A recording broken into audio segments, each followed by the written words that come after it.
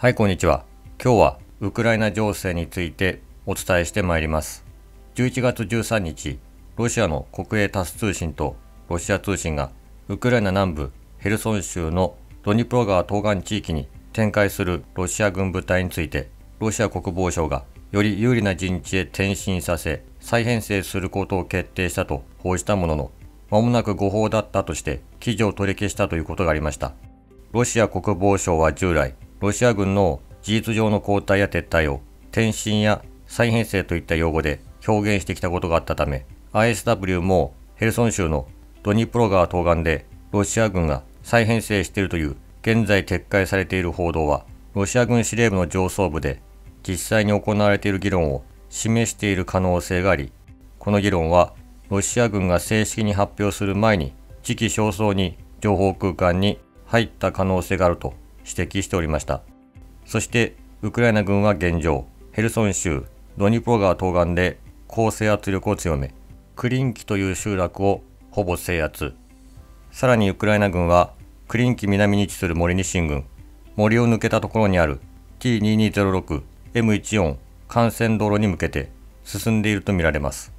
そしてもし、ウクライナ軍が T2206 M14 道路を遮断することができれば、ドニプロ川東岸、クリンキより西方向に展開するロシア軍への補給が困難になってくる可能性が考えられます。つまりウクライナ軍は現状、ドニプロ川東岸のロシア軍の補給平坦ルートを遮断するための攻勢圧力を強めていると言えると思います。こうした中、ロシアメディアは17日、ロシア軍南部司令官がウクライナ南部ヘルソン州において去年構築した防衛線まで撤退すべきと伝え、ゲラシモフ参謀総長が承認したと報じました。ロシア軍南部司令官が述べている、去年構築した防衛線とは、ドニプロ川東岸から 30km の位置のことを指しております。つまりこの報道が事実だとしますと、ロシア軍はヘルソン州ドニプロ川東岸から 30km 後退、撤退することを検討していることになります。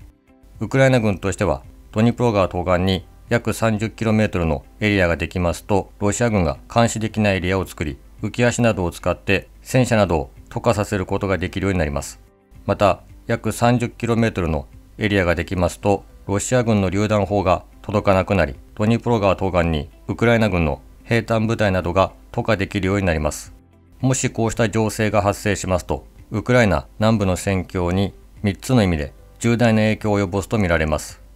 1点目、ウクライナ軍がヘルソン州のドニプロ川東岸地域に進出し、そのことはヘルソン州を大幅に奪還することにつながる可能性があります。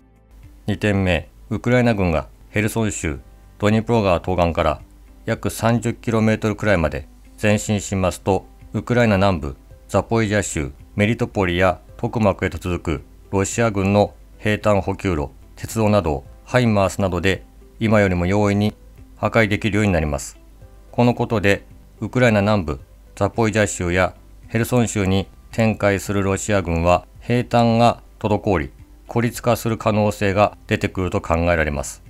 孤立化した部隊は撤退することとなります。3点目、ウクライナ軍がヘルソン州ドニプロ川東岸から約 30km くらいまで前進しますと、ザポイジャ州ロボチネ、特幕正面に展開しているロシア軍は、ヘルソン州方面に増援を送らざるを得なくなると考えられます。そうしますと、ザポイジャ州、ロボチネ、特幕正面に展開しているウクライナ軍が攻勢圧力を強める可能性が考えられます。そうなりますと、ウクライナ南部に展開するロシア軍は、ザポイジャ州、ロボチネ、特幕正面に展開するウクライナ軍と、ヘルソン州、ドニプロ川東岸に上陸し、前進してくるウクライナ軍に攻撃される可能性が考えられます。こうした3つの情勢が考えられると思います。そして、もしこうした3つの情勢が発生しますと、クリミア半島のロシア軍は孤立化する可能性が考えられます。つまりもしロシア軍がドニプロ川東岸から 30km 後退、撤退するということがありますと、ウクライナ南部に展開するロシア軍は総崩れになる可能性があります。もしこうした情勢が発生しますと、これはプーチン政権、ロシア軍がウクライナに敗戦したことを意味するくらいの重みを持つ重大な戦況の変化となる可能性があります。こうした中次のような報道があります侵攻停止を考える必要があるとロシア大統領ロシアのプーチン大統領は22日の G20 首脳会議でウクライナ侵攻が続いていることは衝撃だとする一部首脳の発言に対し軍事行動は常に悲劇で停止する方法を考える必要があると述べた。ロシアのプーチン大統領は22日オンライン形式による20カ国地域 G20 首脳会議でウクライナ戦争の悲劇を止める方策を考える必要があると語った。2022年2月のウクライナ侵攻開始後 G20 首脳会議での初の演説となる。またウクライナに絡むプーチン大統領の発言としては最もハト派的な内容の一つ。G20 首脳の間からウクライナ侵攻の継続は衝撃という発言が聞かれたことを受けプーチン大統領は軍事行動は常に悲劇だと指摘。無論この悲劇を止める方法を考えるべきだとしロシアはウクライナとの和平交渉を拒否したことは一度もないと強調した。さらにロシア大統領府クレムリンが通常使用するウクライナに対する特別軍事作戦という文言は使わずこの戦争そして人々の死は衝撃以外の何者でもないと理解していると述べた。このように報道されております。ISW はこのプーチン大統領の発言について次のように指摘しております。プーチン大統領はまたロシアが有意義な交渉に取り組む用意があると誤って描写する上等句のレトリックを繰り返し西側諸国に圧力をかけてウクライナにロシアとの交渉を時期尚早に迫る可能性がある。プーチン大統領と他のロシア当局者はクレムリンがウクライナで侵略した地域をロシア領土であるとする主張やウクライナの政権交代を含む極限主義的目標を維持していると示唆しながらクレムリンには戦争終結に向けて交渉する用意があるとしウクライナはロシアと交渉する気はないと主張しながら誠実な交渉に参加するのではなく時期尚早にロシアに有利な情報を提示するよう西側当局者に強要する可能性が高い。このように報告されております。そしてやはりですね今回プーチン大統領が今までよりも侵攻停止という踏み込んだ発言を行った背景にはこうした ISW の指摘の他にもヘルソン州ドニプロ川東岸の情勢やさらにウクライナ東部アウディウカの情勢なども関係しているかもしれません。ロシアアウディウカで兵力投入削減。攻撃減少。ウクライナ軍ウクライナ当局者は21日東部ドネツク州の州都ドネツクへの玄関口とされるアウディーユカの戦況をめぐりロシア側の兵力や武器の投入が減少しているとの見方を示した。ウクライナ軍報道官は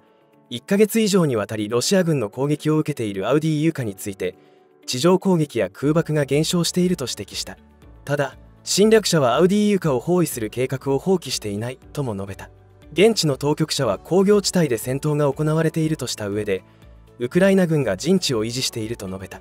一方アメリカシンクタンク戦争研究所は19日付の戦況分析でアウディユカ周辺でウクライナ軍が反撃し